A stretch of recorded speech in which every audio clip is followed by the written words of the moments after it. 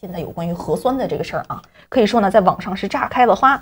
在我去加州之前啊，我们为大家公布了一个好消息啊，新二十条，注意是二十条，不是二十一条，讲的是什么呢？就是针对于中国现在的清零严格政策，有这样的一些边际上的放松啊。嗯哼。我是想来想去，想到了各种各样可能的后果，包括逆向的后果，比如说疫情出现反弹呐。我唯独没有想到的就是老百姓不干了，各地百姓纷纷出来要求恢复全员核酸，坚持清零不能放松。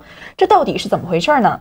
那我们也知道啊，不管是在哎，在河北的石家庄，在吉林的延吉啊，在安徽的合肥，在福建的福州，在广东的广州啊，在海南三亚很多地方现在都开始宣布了，要取消区域全员核酸检测，小区需要解封了。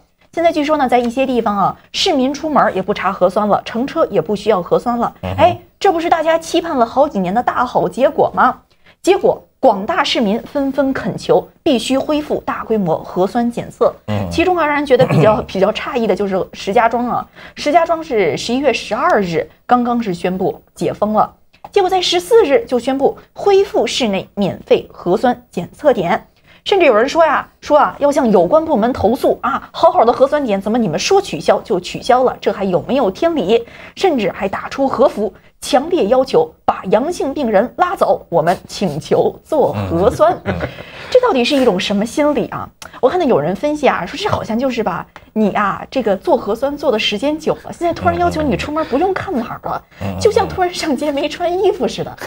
我们呢，在美国有的时候也有这种感觉啊，之前戴口罩戴的时间久了，突然现在出门不戴口罩，老觉得少了一点什么东西。所以啊，我们之前说啊，说解封啊，解封不仅仅是一个医学问题，也是一个思想解放的问题啊。在这一点可能就体现到了。特别有趣的是啊，在北京的朝阳啊，据我了解呢，之前呢是有很多的核酸点，结果呢，现在中央发了消息说啊，这个动态清零要进行灵活调整，有一些原来的核酸点呢就关掉了。当然呢，中央不是说要放松了，而是说要优化核酸检位。结果呀，很多市民呢就此提出不满，说你们啊，本来小区里有一个核酸检测点，结果被你们关了。我现在到哪儿去做核酸呢？啊，现在呢，你们其他的一些核酸点开放的时间也缩短了一半。我想做核酸，我排队的时间反而是更长了。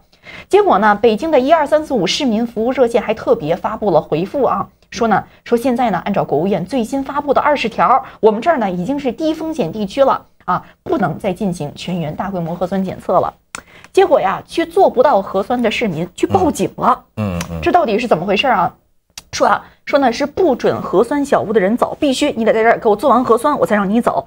结果呢，现场做核酸的人员不行，被市民围困围堵，干脆直接 啊，请公安出来干预。不做也不行。对，所以啊，有人说啊，说这个百日维新还坚持了百日，结果呢，你这二十条好像咱们出台到现在还没到两周呢。有人说叫百秒维新啊啊，百小时维新。结果现在就成了 这样的事儿。我我我是我是对不起，插一句，我是觉得它的普遍性到底有多少？嗯嗯，因为林子大了，什么鸟都有。对，那中国十四亿人，什么样的人都有。嗯。呃，如果就是要求做核酸酸的这些人的话，只是少数的话，也没有什么代表性。对，因为我我看到大多数的人还是不太愿意这样。对，就人都快憋疯了。对对对，所以啊，对 Eric 这一点提醒特别对，因为我们媒体啊在报道事情的时候啊，老是报道这个人咬狗的事儿，狗咬人可能是更普遍的。对，但是啊，这呢就算是今天啊节目最后给大家的奇葩新闻分享一下。哎，我还听说啊，在深圳啊，有人呢专门上书孟书记和秦市长，叫什么呢？